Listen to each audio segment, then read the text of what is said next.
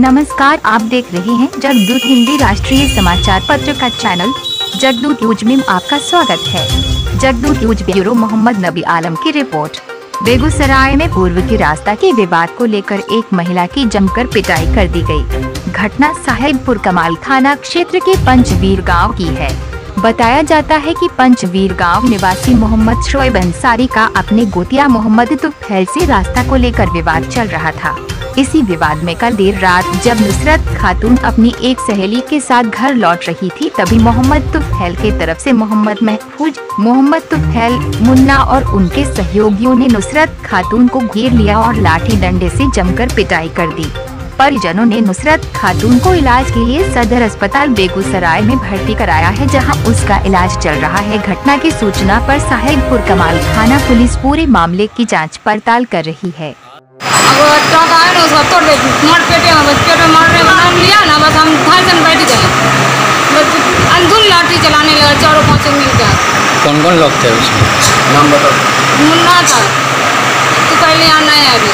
जो नया उसका और नाजमा। सोहेल महफूज सयादा। कोई? ये सब चारों पाँच था। जब उधर से सब दौड़ा देखा सब मारते हल्ला के दू औरत। मुबीना और उतरी था और नाहिद सब तीनों मिलकर हल्ला किया ढेरी आदमी जुटा जब लड़का कि तू लोग अन्याय बहुत अन्याय कर रही है। तो जब लोग बोला कि अब मारेंगे हम भी सब मिलके तब उन लोग भागा से वो सब कौन सब लोग थे? बस बेटा क्या नाम है बदत बदत था उसका बेटा निमक बड़ का बेटा क्या चीज़ को लेकर क्या चीज़ को लेकर मारपीट हुआ? अभी तो कोई बात नहीं। अभी तो कोई बात कल नहीं था। एक साल पहले की बात है। तो बात जब पुराना हो जाता तो खत्म ना हो जाता सर वो तो कोई बात नहीं था वो जानबूझ के मारना था जब उसको आया ना तो वहाँ पर आदमी दो चार आदमी मारने उन्होंने अपना मारा उसकी पिता हम तो दो हम तो कुछ नहीं जानते उसको मारबो किया दो चार आदमी हम तो हमको तो ब्लॉक लेके चलाया वहाँ पर बकर बकर है ना ब्लॉक लेके चलाया कहाँ का कहाँ की घटना है? ये कश्मीर का कौन टोला?